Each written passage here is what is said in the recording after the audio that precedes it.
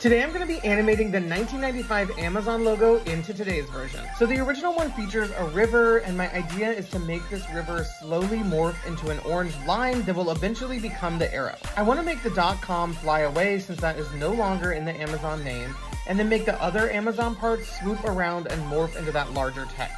The original uppercase A will morph into the lowercase one and here's the final animation.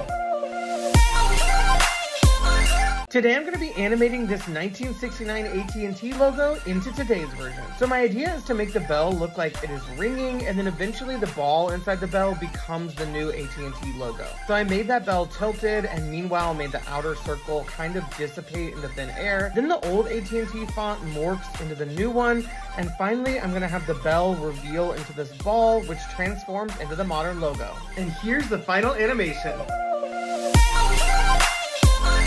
Today I'm going to be animating this 1953 Burger King logo into today's version. This sun has a sort of similar shape to the bun in the original, but I need to animate the rays leaving it. I need to move the text to match the current text placement, and I want to have the bun shape transform into the color and kind of do this bounce that then shoots the color and the new font all the way down throughout the rest of the logo. And here's the final animation.